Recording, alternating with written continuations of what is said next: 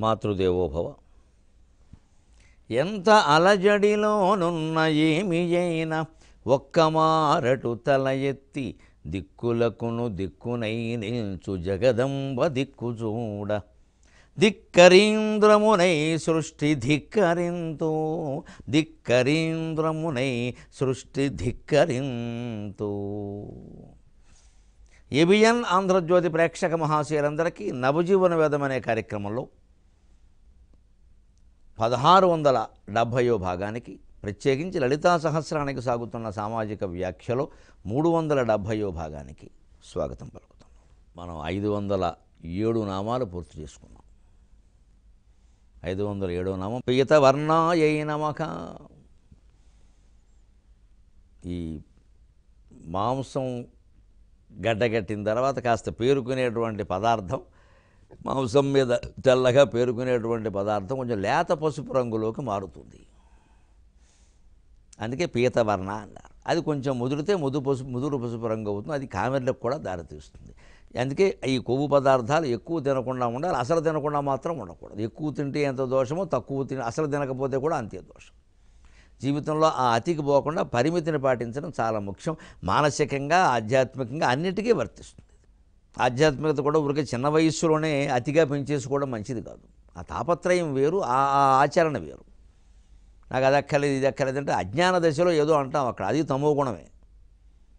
తర్వాత కాస్త వయస్సు వచ్చేసరికి కొన్ని లక్షణాలు శారీరకంగా మానసికంగా మారతాయి. అప్పుడు ఈ మొత్తం ఆధ్యాత్మికత అంటే గోతులో పడుతుంది వెళ్ళి. మేము వీడేదో చిన్నప్పుడు భక్తుల్లో ఉన్నాడు గుడి చుట్టూ గోపురాల చుట్టూ తిరిగాడు ఇలా అయిపోయాడు ఏమిటి అంటారు అంటే అందుకే పదహారు పదిహేడు అంత తీవ్ర వైరాగ్యాలు పనికిరావు. ఏవో కొందరు మహానుభావుల విషయాలు వేరు. వాళ్ళు ఇంట్లోనే ఉండరు. మనం ఉండి ఏదో పది మంది గొప్పగా అంటున్నారు కదా చిన్నప్పుడే వాళ్ళు ఏదో విశేషం ఉందండి వాడు అస్తమానం జపమే చేస్తుంటాడు అంటూ ఉంటారు కదా అని చెప్పేసి ఇక విపరీత వైరాగ్యాల్లోకి వెళ్ళి ఏదో తీవ్ర చర్యలు తీసుకుంటే జీవితం విషయంలో అక్కడికి వెళ్ళిపోదాం ఇక్కడికి వెళ్ళిపోదాం అన్నీ మానేద్దామని చెప్పేసి తండ్రి తండ్రి చెప్తున్నా వినకుండా తర్వాత నష్టపోతాం. ఎందుకంటే ఎక్కడికో వెళ్ళిపోయి బ్రహ్మచర్యం అని ఎక్కడో మన సన్యాసం మొదలు పెట్టాక మనసు రకరకాలుగా ఆలోచిస్తుంది. అనవసరంగా ఆశ్రమాన్ని భ్రష్టు పట్టించిన వాళ్ళు అవుతాం. ఒక పరిపక్వ దశకు వచ్చే వరకు శరీరాన్ని ఆపినట్టే ఆ భావాలను కూడా ఆపాలండి. అది నిజమేనా? మన మనస్సు సిద్ధంగా ఉందా? మనకి నిజంగా అంత వైరాగ్యం ఉందా? అంత తత్వం అర్థమైందా? తత్వం అర్థం కాకుండా వైరాగ్యం ఉంటే ఉపయోగం లేదు. అది తాత్కాలికమే అవుతుంది. భావ భావోద్వేగపరం అవుతుంది. సాధారణంగా వైరాగ్యాలు మనుషులకు ఎప్పుడు వస్తాయంటే ఎవరైనా నమ్మిన వాళ్ళు ద్రోహం చేస్తే వస్తాయి. దానివల్ల వచ్చేదాన్ని అది అది విరక్తి కావచ్చు కానీ వైరాగ్యం అని గొప్ప మాట వాడకూడదు. అది విరక్తి అనడం కూడా వ్యతిరేకత అనడం మంచిది. వాళ్ళు అలా చేయబట్టి నీకు అనిపించింది మామూలుగా ఉంటే నీకు వైరాగ్యం లేదు కదా సంసారం పట్ల లేదా వ్యాపారం పట్ల ఉద్యోగం పట్ల. అంచేత ఎవరో ఏదో చేయడం వల్ల వచ్చేది వైరాగ్యం కాదు. అది ఊరికే వ్యతిరేకత. అలా ఎప్పుడూ అలా దానికి బాధపడకూడదు అప్పుడు. మళ్ళీ వచ్చేస్తారు వెనక్కి. ఎందుకంటే ఏదో ప్రేమించేవాళ్ళు దొరికేవాళ్ళు మంచివాళ్ళు దొరుకుతారు. ఇంకో మళ్ళీ వచ్చేస్తాడు. అంచేతనే ఆ భావాన్ని నాననియ్యాలి భక్తి జ్ఞాన వైరాగ్యాలు వేటినైనా సరే నాననీయాలి. దానికి సంబంధించిన గ్రంథాలు చదవాలి. అందులో ఉండే అనుమానాలు కాస్త పెద్దవాళ్ళ దగ్గర తీర్చుకుంటూ ఉండొచ్చు. ముందు అన్నిటికంటే గొప్పది ఆ జీవితానికి అన్వయం చేసుకోవడం మొదలు పెడితే అన్ని అనుమానాలు అక్కడే తీరిపోతాయి. అప్పుడు ఒక స్థాయికి వచ్చాక ఓ నలభై యాభై ఏళ్ళు వయస్సు వచ్చాక సంసారంలో కూడా సా- సమాజంలో కూడా మంచి రాటు తెలియక అప్పుడు ఆ వైరాగ్యం సంగతి ఏమిటో చూస్తే మళ్ళీ వెనక్కి రాడు. హాయిగా జీవిత లక్ష్యమైన మోక్షాన్ని సాధిస్తాడు. జీవన్ముక్తుడవుతాడు దాన్ని సాధించేదే ఉంది. అది ఈయన దగ్గరికి వస్తుంది. అది ఈయన దగ్గరికి వస్తుంది. తదైవత్వం తస్మయ తస్మై దిశిసి నిజసాయుధ్య పదవి ముకుంద బ్రహ్మేంద్ర స్ఫుటమకుట నీరాజిత పదం. ముక్తికాంత స్వయంగా వచ్చి ఈయన గౌగురించుకుంటుంది ఈయన వెళ్ళక్కలేదు తాపత్రయపడి. ఆ వైరాగ్యం పరిపక్వత చెందిన వైరాగ్యం. అంచేత ఏదైనా సరే అతి కాకూడదు మితిలో ఉండాలి. అతి అయితే ఏమవుతుంది? తర్వాత నామంలో వస్తుంది. ఐదు వందల ఎనిమిదో నామంలో. పీత వర్ణ అతి గర్వితాయై నమక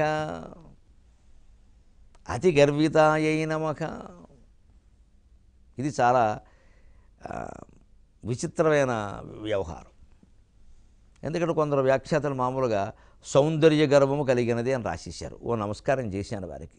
నేను అంతకంటే ఏం మాట్లాడలేని. అమ్మవారికి సౌందర్య గర్వమా? గర్వించే మనిషి అమ్మవారంటే. దేవతలైనా గర్విస్తారా? గర్వించమని మనకు చెబుతారా?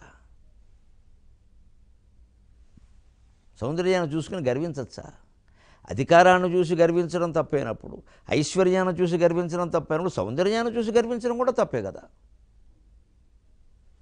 దాని అర్థం అది కాదు. ఆ ముందు వర్ణాలు ముందు మా నామాలు మూడు కలుపుకుంటే దాని అర్థం తెలుస్తుంది. పీతవర్ణ అతి గర్భిత మేధోనిష్ట అతి గర్భిత చతుర్వక్తర మనోహర అతి గర్భిత అక్కడి నుంచి కలుపుకుంటూ రావాలి. కొవ్వు నాలుగు రకాలుగా ఉంటుంది. మరి గర్వానికి దారి తీయది ఎక్కువైతే. అది లెక్క అక్కడ. స్వాధిష్టానాంబుజగత చతుర్వక్త్ర మనోహర శూలాద్యాయుధ సంపన్న. వేడి విపరీతంగా పుడుతూ ఉంటుంది శరీరంలో. దాన్ని రెగ్యులేట్ చేసే విధానం లేకపోతే ఎక్కువైపోదు. అది అతి గర్వానికి వికృత చేష్టలకి అతి గర్వానికి దారి తీయదు అలాగే చలి ఎక్కువైపోయింది. ఏ ఒక్క ఉష్ణశక్తి చలిశక్తి శీతశక్తి లాంటివి ఏ శక్తి ఎక్కువైనా శరీరంలో వికృత విపరీత పరిణామాలు ఉంటాయి. ఆ వికృత విపరీత పరిణామాలకి ప్రతీకే అతి అతయిపోయింది అక్కడ. అతి గర్విత సమస్య అది. ఈ కొవ్వు మేధోనిష్ట ఆ కొవ్వు అతి గర్విత. అంటే అమ్మవారు గర్విస్తున్నాను కాదు కొవ్వు బాగా పెరిగినవాడు గర్విస్తాడు. స్త్రీ అయినా పురుషుడైనా సౌందర్యానికి సంబంధించిన విషయం కాదు అందుకే మనకి లోకంలో అంటారు కొవ్వు కొట్టుకుంటున్నాడు రా కరిగించేయాలి అంటారు వెంటనే. ఈ మాటలు లోకంలో ఉన్నాయి గమనించండి తెలుగు మాటలు జాతీయాల్లో ఉన్నాయి. తెలుగు వాళ్ళు ఉడికారంలో ఉంది ఇది. ఒళ్ళు కొవ్వే కొట్టుకుంటాడు గోవు రోజున ఎక్కువైంది అంటారు మామూలు వైదిక భాషలో. గోవు శరీరంలో కూడా ఈ కొవ్వు పెరగడం వల్ల ఏర్పడే గోరోజనం అనే పదార్థం ఉంటుంది. అది లేత ఎరుపు పసుపు ఉండే మెజెంటా రంగులో గోరోజన వర్ణం అంటారు. ఇళ్ళకి పూర్వం ఆ రంగు వేసేవారు గోరోజన రంగు అని. అది లేత పసుపు ఎరుపు కలిపిన రంగు అది. పీతవర్ణ అతిగర్విత. అలా ఉండేది. అది మామూలు వైదిక బ్రాహ్మణులు వాడుకుని నేను చాలాసార్లు విన్నాను. గోరోజనం ఎక్కువైంది మన వాడికంటారు. గోరోచనం అది. అది గోరోజనం అని అంటారు. దధ్యోదనాన్ని దద్దోజనం అన్నట్టే పలుకుబడిలో మార్పది. ఇక ఈ గోరోజన వర్ణం ఆ మాట వాడిని విధానం ఒళ్ళు కొవ్వు ఎక్కువైందనడం కొవ్వు కరిగించాలని ఇవన్నీ చూస్తే పీతవర్ణ అతిగర్భిత మేధోనిష్ట అతిగర్భిత అన్నీ అర్థమవుతాయి. అంచేది ఈ కొవ్వు పెరిగితే గర్వానికి దారితీస్తుంది. ఏం చేస్తావో తెలియదు. అప్పుడు నలుగురు వచ్చి కొవ్వు కరిగించేస్తారు. జాగ్రత్త. అండమే అతి గర్భిత అయిన మఖ ఇప్పుడు ఐదు వందల తొమ్మిదో నామం. మేధోనిష్టాయై నమః. ఇక్కడ ఈ శబ్దాన్నే జాగ్రత్తగా గమనించాలి మనం. చాలామంది పత్రికల్లోనూ టీవీల్లోనూ కూడా పొరపాటుగా ప్రయోగిస్తున్నారు శబ్దాన్ని. అదేమిటో నేను ఇప్పుడు ఒక భాషావేత్తగా కాస్త విజ్ఞప్తి చేస్తా. చెప్పవలసిన వాళ్ళని చెప్పాలి కాబట్టి. మేధ మేధోనిష్ట అంటే అక్కడ సకారం కాబట్టి ఓకారం వచ్చిందండి. విసర్గలకు ఓకారం వస్తుంది. తపహ వనము తపోవనము అన్నట్టే. మేధగా నిష్ఠ మేధోనిష్ట మేధోనిష్టాయే నమక మేధక మేధస్సులో నిష్ఠ ఉండేదానివి. నీకు నమస్కారం. మేధస్సు అంటే కొవ్వు. మేధక మేధసి మేధాంసి అని ఉంటుంది. అది సకారాంత శబ్దం. దీన్నే మనం మెదడు అంటాం. ఈ మెదడు ఏమిటి అసలు? శిరస్సులో ద్రవించే తెల్లటి మెత్తటి మాంస విశేషమే మెదడు. అందులో బుద్ధి కళ రూపంలో ఒక శక్తి ప్రకాశిస్తుంది. ఆ శక్తి ఇక్కడ మేధోనిష్ఠా శక్తి. నమస్కారం. మనస్సుకి భౌతిక రూపం మెదడు. ఆ భౌతిక రూపమైన మెదడుకి తాత్వికమైనటువంటి రూపం మనస్సు. తాత్విక రూపం అంటే ఎప్పుడు మిచ్చే ఉంటుందో లేదు. అందుకే మెదడు కనపడుతుంది స్పష్టంగా మనస్సు కనపడదు. కానీ మానసిక తరంగాలన్నీ మెదడు నుంచి పుడుతున్నాయి. మెదడు లేకపోతే ఆ మనస్సు ఏం ఆలోచించలేదు.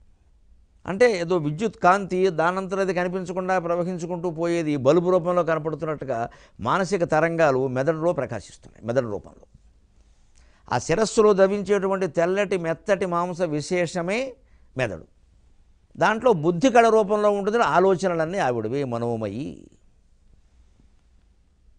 కాకపోతే అసలు తత్వం తెలియాలంటే ఆలోచనల మధ్యలో ఉండే ఖాళీని పట్టుకోవాలి ఆలోచనల వెనకాల మనం పరిగెట్టకూడదు ఆలోచనల వెనకాల పరిగెట్టిన కొద్దీ కొత్త శుద్ధ తర్కం వితర్కం కుతర్కం మిగులుతాయి. ఆ తర్కానికి ఆవిడ అందదు? ఆలోచనల మధ్యలో ఉండే ఖాళీని పట్టుకోవాలి. ప్రతి ఆలోచనకి రెండో ఆలోచనకి మధ్యలో ఖాళీ ఉంటుంది. ఖాళీ లేకపోతే రెండో ఆలోచన అని మనం అనలేం. ఒక ఆలోచన విస్తరిస్తున్నప్పుడు కూడా ఒక ఒక బిందువుకి ఇంకో బిందువుకి మధ్యలో ఖాళీ ఉంటుంది. విస్తరిస్తున్నప్పుడు కూడా. వాక్యం ఒకదానికి సంబంధించి ఒక పారాగ్రాఫ్ రాస్తున్నామండి మనం. అందులో ఐదు ఆరు వాక్యాలు ఉండొచ్చు. వాక్యం వాక్యానికి చుక్క పెట్టట్లేదా? అవన్నీ ఒకదానికి సంబంధించినవి. ఇప్పుడు ఈ నామాలు ఉన్నాయి ఇవన్నీ కొవ్వుకి సంబంధించినవి. ఇందులో పది నామాలు లేవా? చుక్కలు పెట్టలేదా? నమః నమః అనలేదా? అంతే. కానీ అన్నీ కల్పిస్తే ఒకటే శ్లోకం కూడా ఉంది కదా. స్వాధిష్టానంబోజు కదా చతుర్భక్తుల మనోహర శూలాధ్యాయుధ సంపన్న పీతవర్ణ అతి కలుపుతాం ఒకటే శ్లోకం. విడదీస్తే ఐదారు నామాలు. ఈ తేడా తెలుసుకుంటే మనం ఈ మేధస్సు అనేది ఏమిటో తెలుస్తుంది దీనికి ఈ మేధస్సుకి మేధస్సు అని వాడేస్తున్నారు ఈ మధ్యన. మేధస్సు మెదడు ఆ మేధస్సు అన్నప్పుడు దాకి ఒత్తు పెట్టకూడదండి. అది మేధహ శబ్దం. మేధక మేధసి మేధాంసి. మేధస్సు. దానికి కేవలం కొవ్వు పదార్థం సరే ఇంకొక ఒక శాస్త్ర పరిభాషలో ఒక అవయవంగా మెదడు అని అర్థం.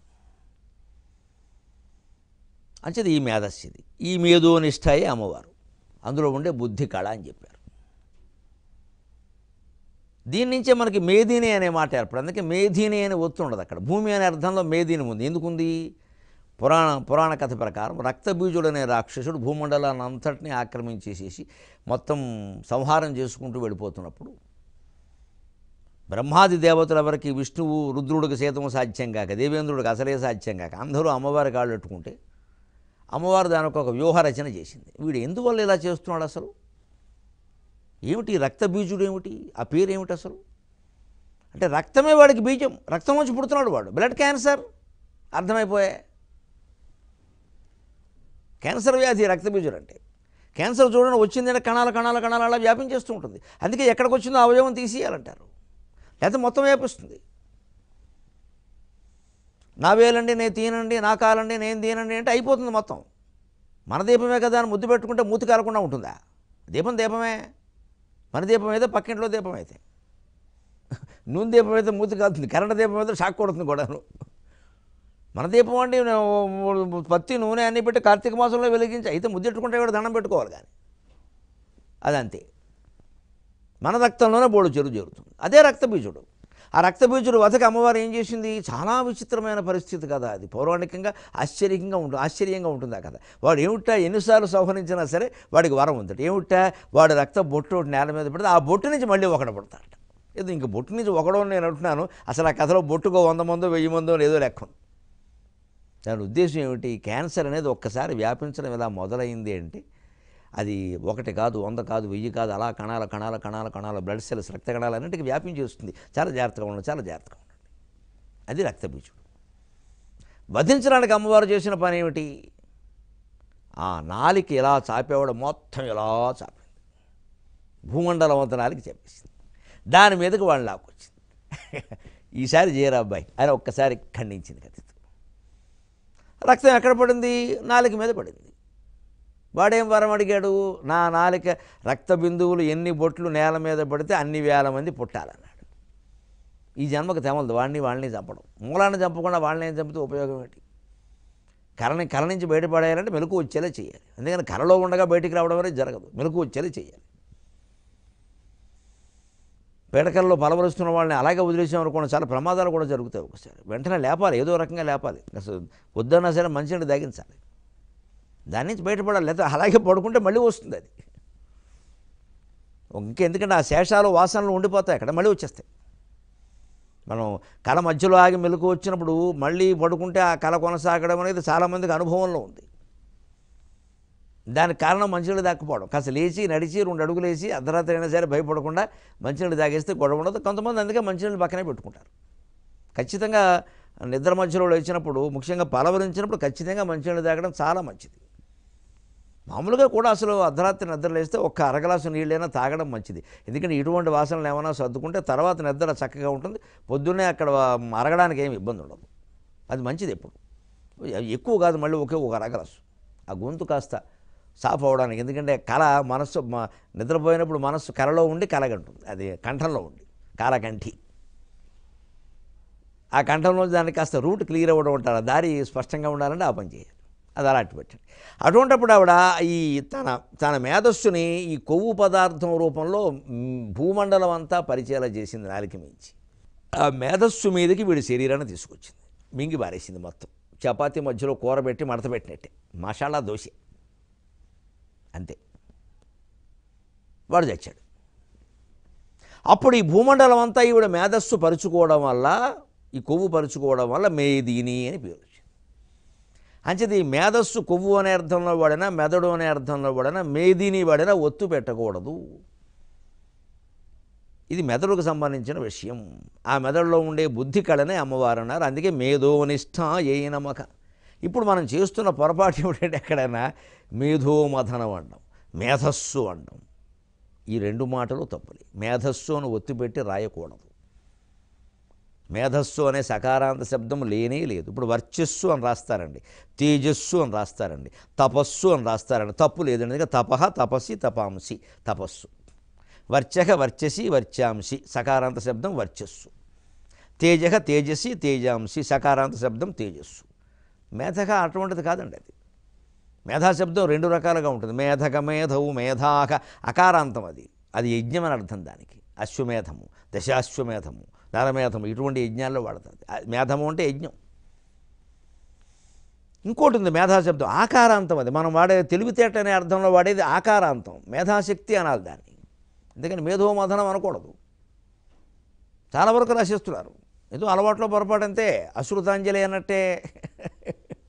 అశ్రు తర్పణం అని ఒక మాట ఉంది. శ్రద్ధాంజలి అని ఒక మాట ఉంది. శ్రద్ధాంజలిలో అంజలి అశ్రు తర్పణంలో అశ్రుత వరకు లాగే ఎవడో అశ్రుతాంజలి పుట్టించాడు విచిత్రంగా. ఈ మధ్య పత్రికలు ఎక్కడ చూసినా అదే అజ్ఞానానికి నమస్కారం. అశ్రుతాంజలి ఏమిటి? అశ్రు తర్పణం లేదా శ్రద్ధాంజలి.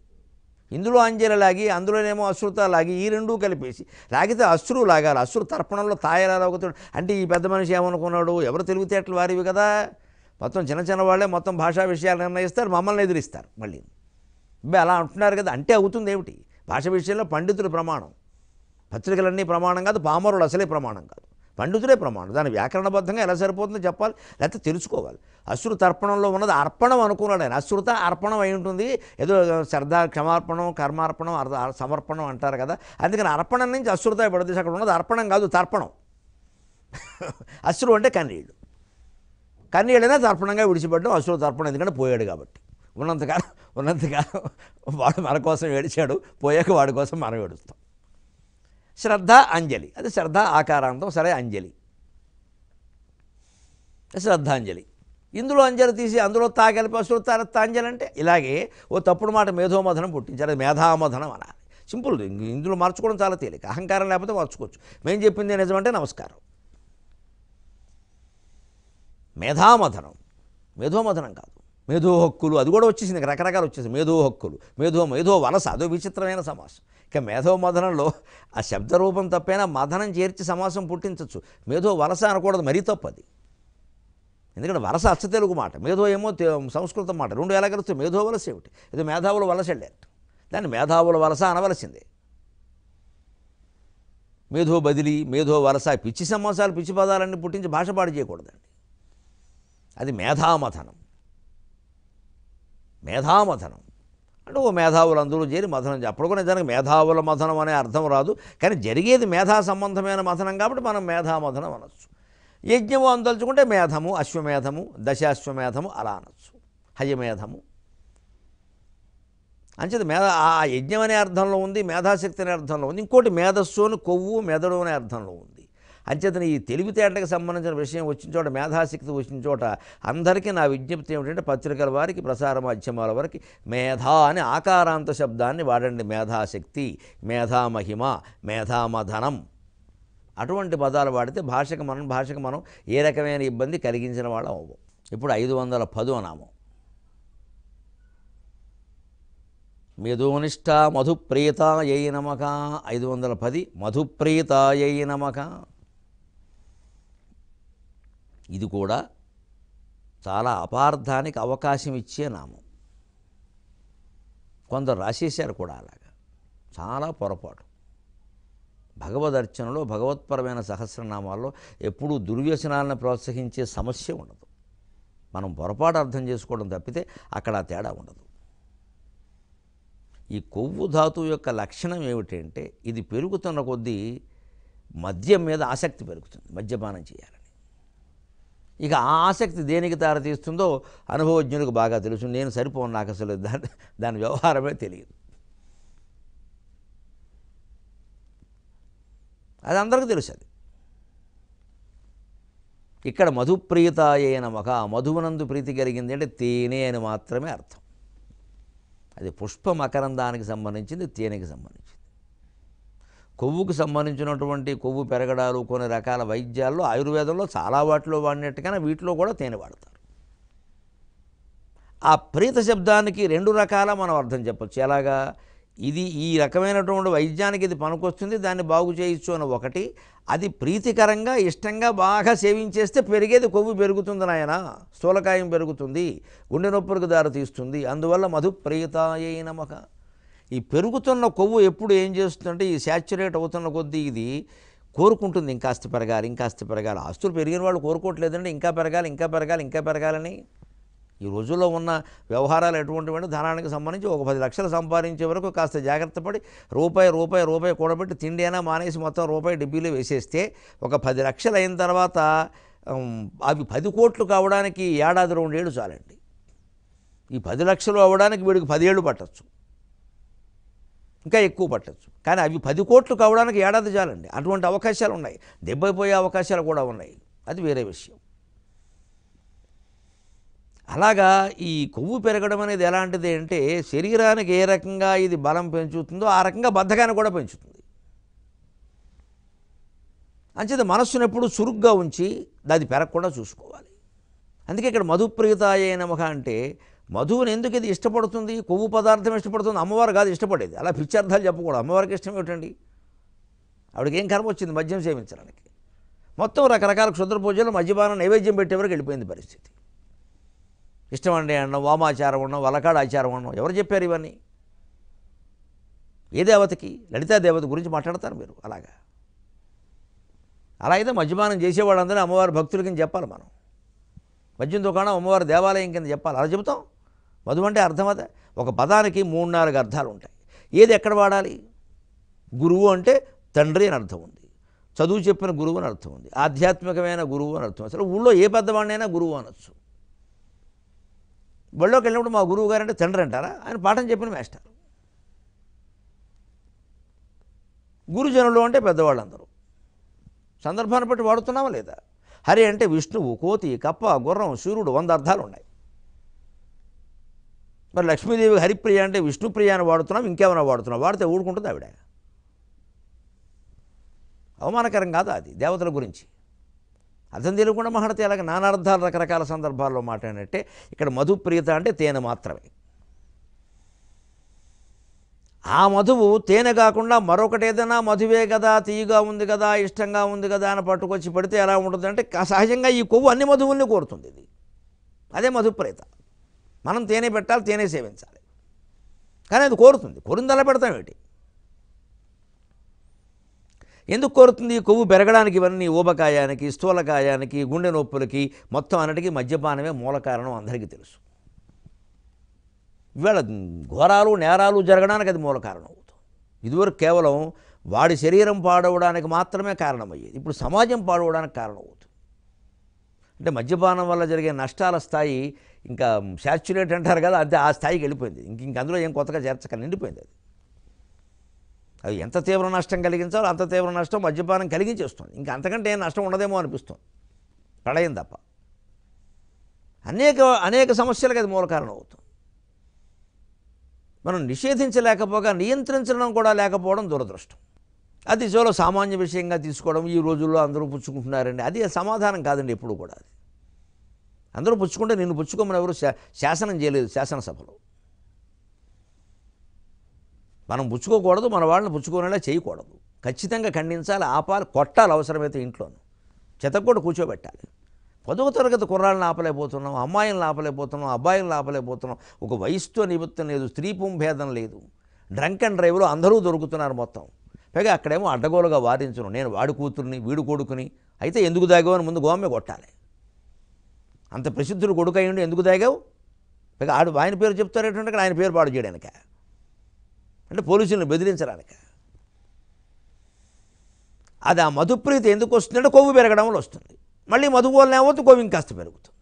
అదే మధుప్రీత అయ్యే ఇక అది మధుమేహానికి ఊబకాయాలకి చివరికి గుండె నొప్పికి పరమేశ్వర అర్పణం దారితీస్తుంది పైగా ఈ సందర్భం వచ్చింది కాబట్టి నేను చెబుతున్నా మధుప్రీతకి రెండో అర్థం కూడా కొంతమంది చెప్పే ప్రయత్నం చేశారు కాబట్టి ఏ రకంగానైనా ఆ దోషాన్ని పోగొట్టడం నా ఉద్దేశం కాబట్టి మంచి నేర్పే ప్రయత్నం చేస్తా. ఎంత ఫలించినా మంచిది. సో మద్యపానం అనేది ఈ మత్తు పదార్థాలు అనేవి ఎందుకంత ప్రమాదకరంగా మారాయి? వాటిని ఎందుకు మనం నివారించలేకపోతున్నాం? కనీసం నియంత్రణ చేయలేకపోతున్నాం. పైగా అసలు శారీరక ధర్మాలకి మానసిక ధర్మాలకి ఏమైనా ప్రత్యేకమైన అనుబంధం ఉందా? ఈ మద్యపానం ద్వారా ఆ తేడా ఏమైనా మన అనుబంధాన్ని ఆ పోలికను కానీ ఆ తేడాను కానీ మనం తెలుసుకోవచ్చా? లోకంలో ఎన్నో ఉపదేశాలు చేస్తున్న మంచి ఎక్కదు చెడు ఎక్కుతుంది. దానికి శరీరంలో తిన్న పదార్థాలు ప్రోటీన్లు గ్లూకోజు మొదలైనవి ఎక్కకపోవడానికి మద్యం తొందరగా ఎక్కడానికి సంబంధం ఉంది. శారీరక స్థితి మానసిక స్థితి. ఇది అర్థమైతే అది అర్థం. ఈ విశేషం ఏమిటో మనం ఇరవై మూడున్నర గంటల్లో తెలుసుకుందాం. అంతవరకు మద్యపానం చేయకుండా ఉందాం.